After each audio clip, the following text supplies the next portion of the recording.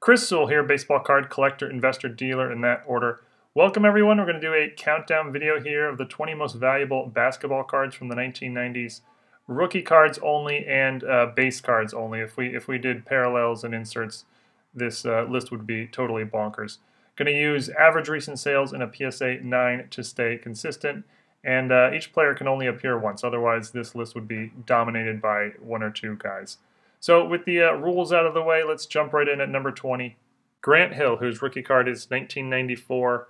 Hill has a bunch of rookie cards as they were producing a, a whole bunch of different sets in the mid 90s. Most of them can be had for sort of uh, one to two dollars, like the uh, emotion on the right there, pumped. Hill had an impressive career, 18 seasons. Uh, best years were with Detroit and Orlando. He averaged 17 points a game throughout his career, made seven All Star teams, uh, received MVP votes five seasons. So he was he was a dominant player in his 20s, but sort of faded out as he got into his uh, early 30s. As I mentioned, he has a bunch of different rookie cards. The best is his finest. Finest will show up a bunch on this list. Uh, it sells for around $21 in a PSA 9. Number 19 is the glove, Gary Payton, his rookie card from 1990. Uh, Payton's only got three rookie cards. You can see him there. He's got the Skybox, Fleer Update, and a Hoops. Uh, 1990 was just a massively overproduced year for cards, so all three of these are pretty plentiful cards, not very expensive, and pretty easy to, to find. Uh, Payton's in the Hall of Fame, and he's known as the glove for his defensive skills, as he would cover you like a glove. His best rookie card of the three is uh, the Fleer Update. They're all three pretty close, but the Fleer Update comes out on top with uh, PSA 9 selling for $26. Number 18 is a member of the Fab Five for Michigan. Chris Webber, who is the number one draft pick, uh, number one overall draft pick in 1993. He's got a bunch of rookie cards. Most of them can be had for around a dollar, maybe maybe even a little less. Uh, Webber had an impressive career, 14 seasons, and he averaged 21 points per game. But uh, his career appeared at one point to be heading towards all-time great status, and it didn't sort of pan out that way. Um, his best rookie card is easily the finest, 1993 finest, which is the first year of finest, so a very popular set. It uh, goes for around $29. Number 17 is Jason Kidd, rookie year 1994. Uh, Kidd was a 10 time All Star and led the, uh, the league in assists five times, so an impressive career. He's got a bunch of 94 rookie cards. I thought the SP would come out number one, but in fact, his finest is the most valuable, like the Grant Hill. Uh, the finest sells for $29. Number 16 is a bit of a surprise, at least for me anyway. The uh, Croatian sensation, Toni Kukoc, who uh, certainly got a boost from the Last Dance documentaries. He was a key member of the uh, late 90s Bulls teams that were just absolutely dominant. Uh, his resume is nowhere near as good as the previous four people on the list. Most of his rookie cards can be had for well under a dollar. But uh, he also gets help from the fact that his rookie card is 1993, and in the finest set, uh, his finest is easily his most valuable. In a PSA 9, it sells for over $30. Number 15 is Shawn Kemp, rookie year 1990. Like uh, Gary Payton, he's only got three rookie cards. Those are the three Skybox, Hoops, and Fleer. Uh, Kemp averaged a double double six times in his career, and he reached the NBA Finals in the mid 90s once, but uh, unfortunately ran into Michael Jordan's Bulls as the uh, Sonics had no chance. Uh, his three rookies are all pretty close in value, but uh, surprisingly, the Hoops is the most valuable of the three.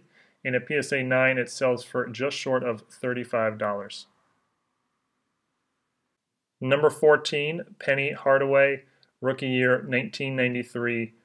Hardaway's rookies were insanely hot in the mid 90s. As he went, he went to the All Star game four times in his first five seasons, uh, but then just sort of trailed off pretty significantly after that. At one time, his finest rookie was one of the most in demand cards in all the hobby, and uh, today it's still his most valuable rookie. Uh, recent sales have averaged $37. Number 13, Stephon Marbury, rookie year 1996. Uh, he played 13 seasons and averaged 19 points a game in his career. He also played nine seasons in China in his uh, 30s, so definitely gets some love from the uh, Chinese fans. The 96 ramps up premium products, so it's the first year of Topps Chrome, uh, which is a critical set. We'll see a bunch more from this set on this list. Uh, it's his most valuable card by far. In a PSA 9, it, sales have averaged $38. Number 12, playing in the NBA at 18, Tracy McGrady, uh, rookie year 1997. Uh, McGrady has two scoring titles. He once averaged 32 points in a season, and he played in seven straight All Star games, so he was a, a major star for a while there. Injuries sort of ended his career uh, early.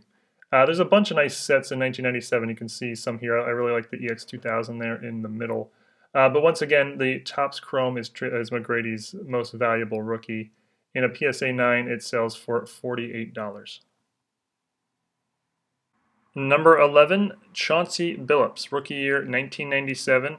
He's got a dozen or so rookies. Most of them can be had for around a dollar or two.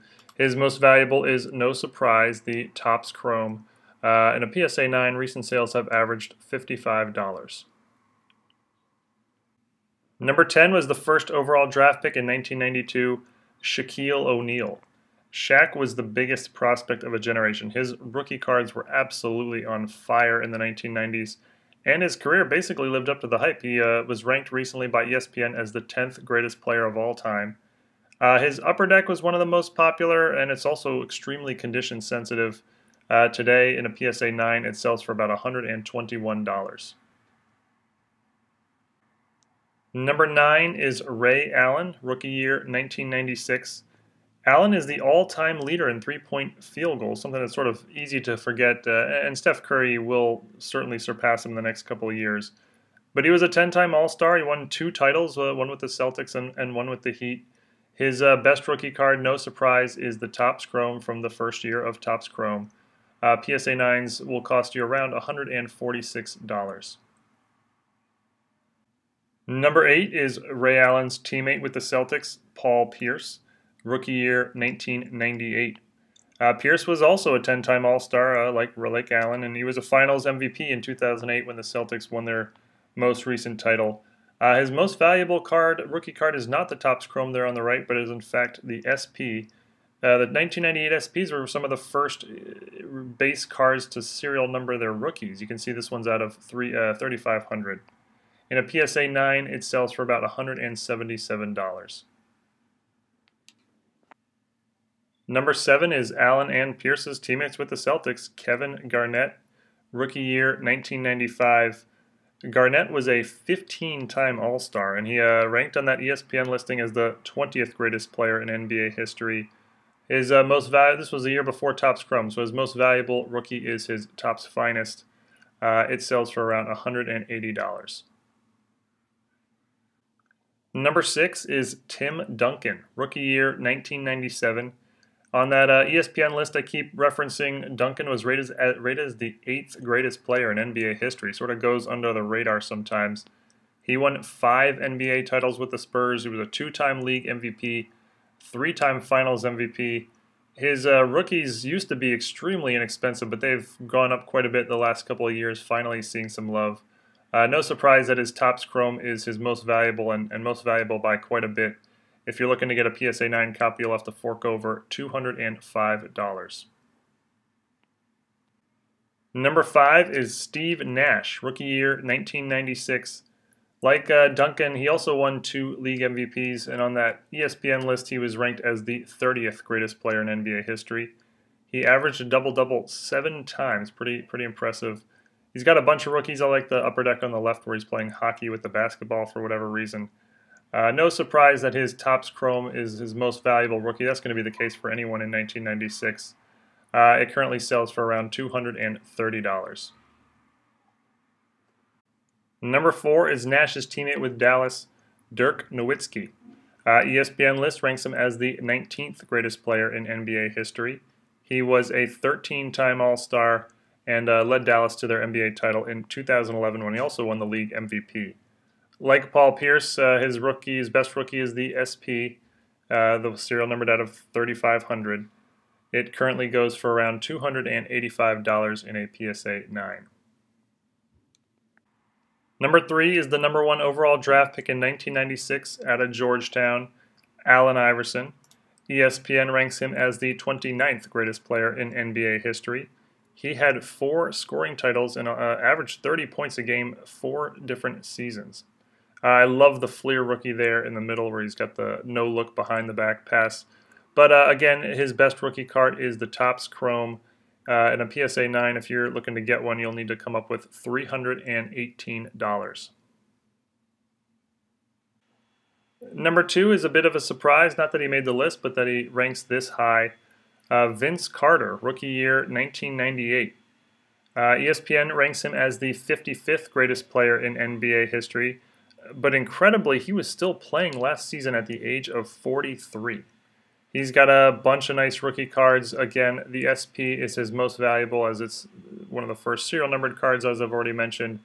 PSA 9s today go for around $387. And number one, no surprise here, Black Mamba Kobe Bryant. ESPN ranks him as the ninth greatest player in NBA history. I would have guessed he would have been higher. Uh, five NBA titles, 25 points a game over his career, fourth all time in career points. Uh, uh, I could go on and on and on with his accomplishments. Uh, a lot of rookie cards with quite a bit of value. Uh, his Topps Chrome is arguably the most iconic basketball card from the 90s. Uh, PSA 10s go for insane amount. In a 9, it will still cost you $3,082. So that's it, the 20 most valuable basketball rookie cards from the 1990s. The uh, Kobe Bryant outsells everybody else combined. Interesting uh, stat. Hope you guys enjoyed. Please uh, thumbs up and subscribe if you did. I got a lot of these sort of videos, post them regularly. Uh, have a great day. Thanks, guys.